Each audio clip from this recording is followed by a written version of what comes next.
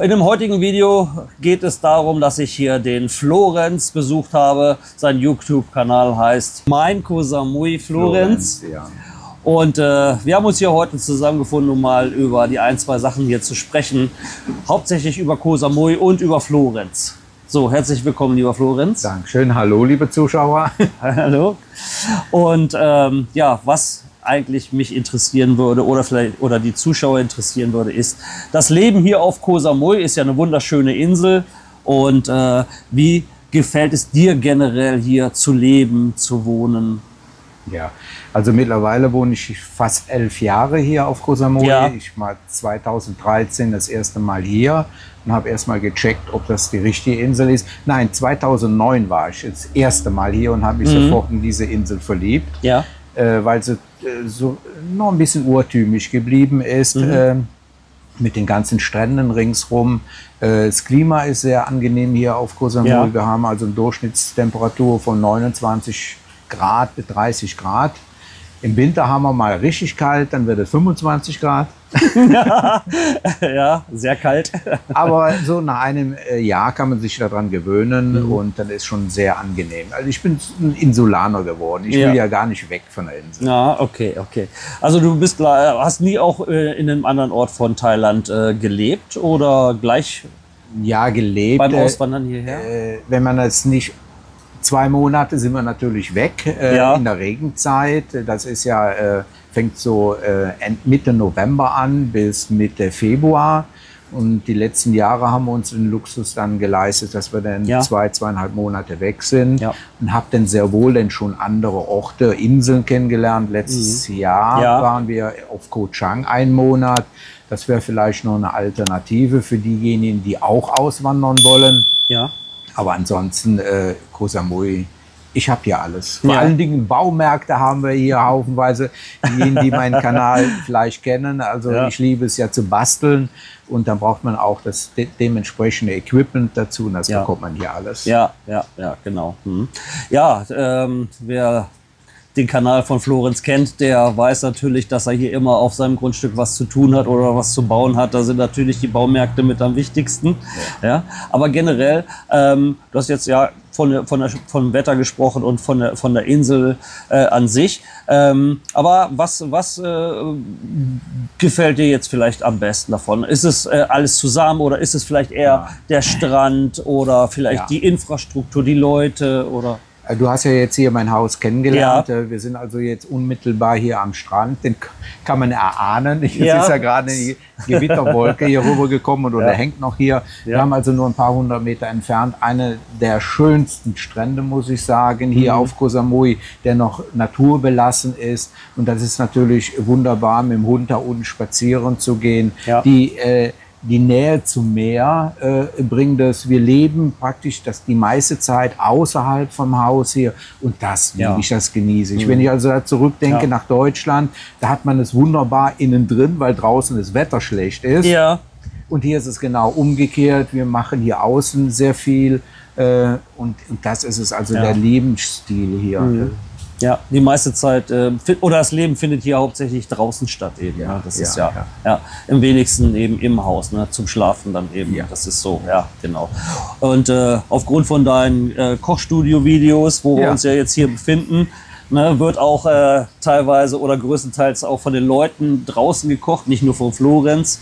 Und äh, ja, das macht eben das Leben wahrscheinlich hier aus. Ne? Oder in Thailand generell ist das ja so. Ne? Ja, also wir stehen jetzt wirklich hier buchstäblich im Kochstudio. Ja. Jetzt kommt gerade eine, eine starke Brise hier rüber. Ja. Ähm, ja, wir leben draußen. Ja, genau, ja.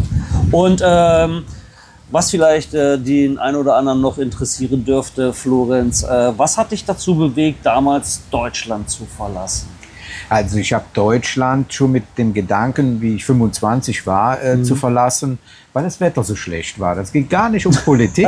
Heute hat sich das ja ein bisschen geändert. Nein, ein halbes Jahr ist ja in Deutschland schlechtes Wetter, Ja. muss man ja sagen. Und das war damals ein Ausschlag, äh, mal im Atlas zu gucken, wo könnte es besser sein von den Ja. Temperaturen.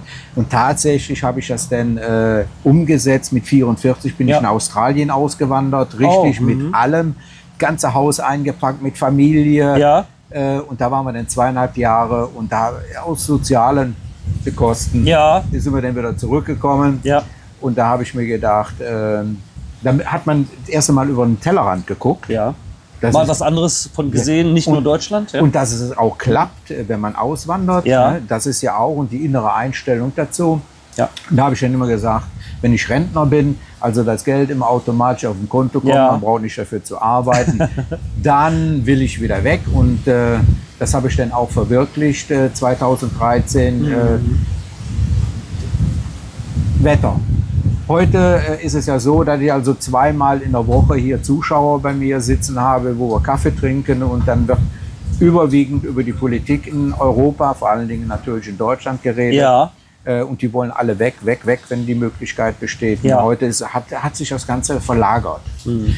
Andere sind aber auch aus gesundheitlichen Gründen hier, Ja. Mhm. die also mit Muskulaturprobleme haben, Rheuma, äh, äh, die diese Wechselschwankungen, also die Schwankungen der Temperatur in Ja. Deutschland Ja. nicht körperlich vertragen können.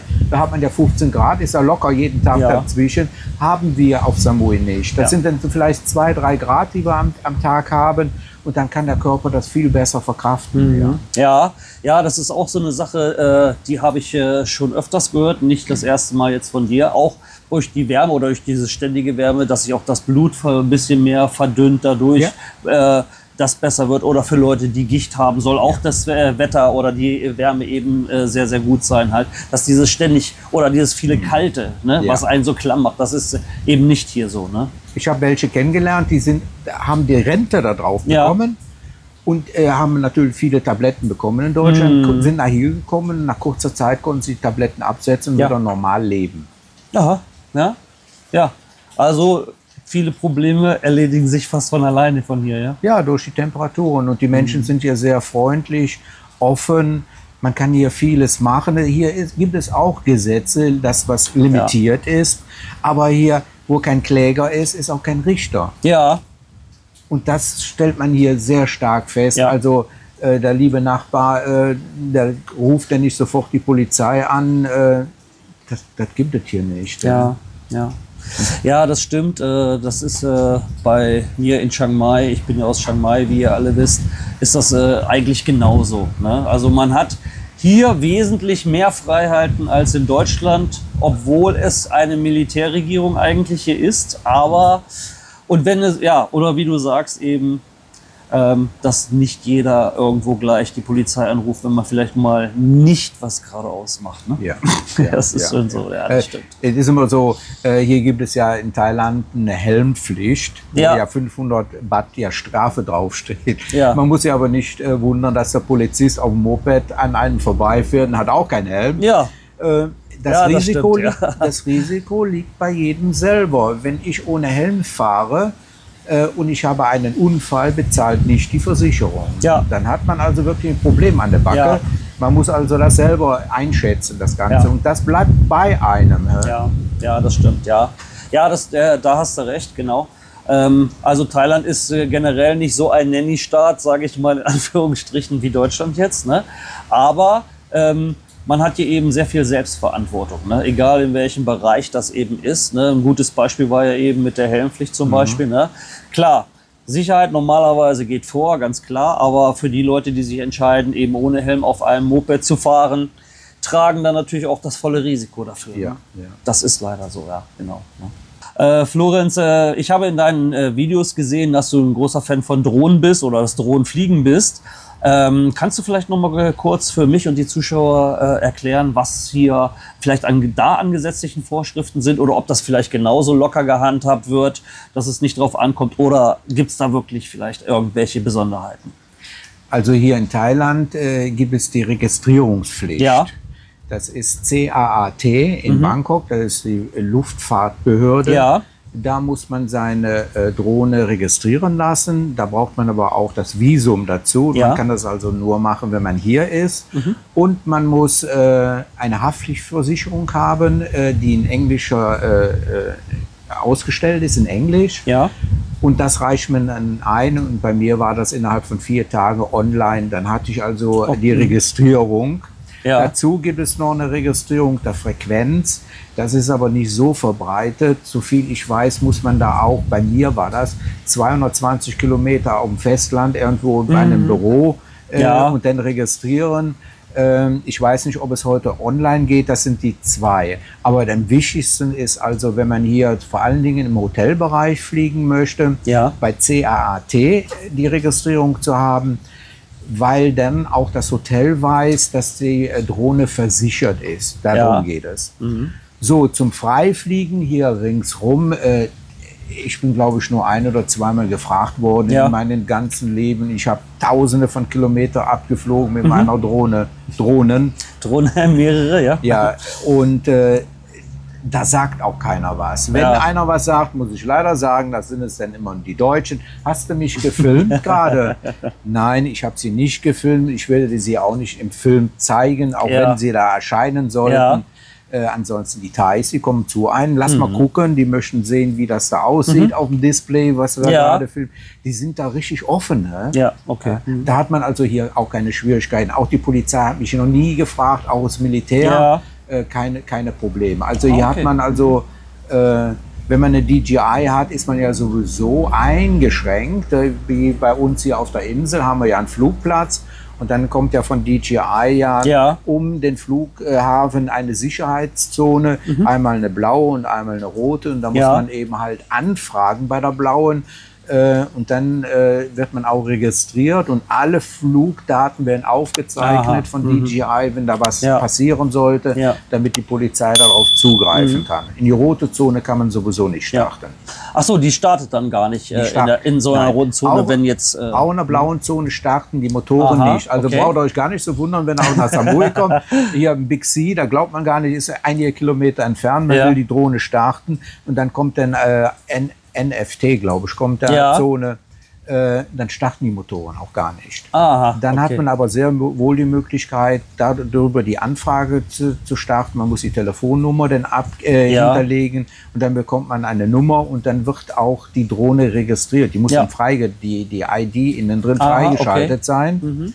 Dann werden alle Flugdaten von DJI aufgezeichnet. Aha, okay. Nicht die Polizei, die macht das nicht. DJI zeichnet die Flugdaten die. auf. Mhm. Aha, okay. Ja, äh, ist dann natürlich eine wichtige Information. Ne? Also kann da eigentlich dann auch erstmal nichts schiefgehen oder dass man mit äh, dem Gesetz hier in, in Nein, Konflikt nein, kommt. Ne? Äh, Frage jetzt zum Abschluss dazu nochmal. Bei der CEAAT oder bei dieser Behörde, wo die Frequenz von der Drohne registriert werden muss, ist das kostenpflichtig? Nein. Kostet beides nichts, ja? Ah, man füllt einfach die Papiere aus und schickt sie dahin. Oder online, je nachdem. Muss, ne? On, online, man braucht auch keinen Flugschein haben wie in Deutschland. Da muss, Aha, man, da muss man ja so einen Flugschein theoretisch machen, was eigentlich Blödsinn ist. Es kommt ja darauf an, dass man auch fliegen kann vernünftig. äh, Das Ja. ist das Wichtigste eigentlich. Den Drohnenführerschein heißt Den das, Dro- glaube ich, in Deutschland. Drohnenführerschein, Ne? Ja, ja. genau. Aha. Und man ist nie in der Luft gewesen und man Ja. hat einen Drohnenführerschein online, das, das verstehe ich nicht. Also Papierkram in Deutschland. Ja, okay. Braucht man hier nicht. Gut, wunderbar. Okay, das soll es äh, für heute gewesen sein. Ähm, vielen Dank, Florenz, äh, für das Interview. Gerne. War sehr interessant heute. Und äh, wenn euch das Video gefallen hat, lasst bitte ein Abo und ein Like da und schreibt vielleicht mal in die Kommentare, was ihr vielleicht schon für Erfahrungen hier in äh, Koh Samui gemacht habt, äh, von der Insel her, vom Urlaub her oder eben auch über das Thema Drohne. Das würde mich mal interessieren und wir sehen uns bis zum nächsten Mal. Bye bye, ciao, ciao. Okay, tschüss. Tschüss.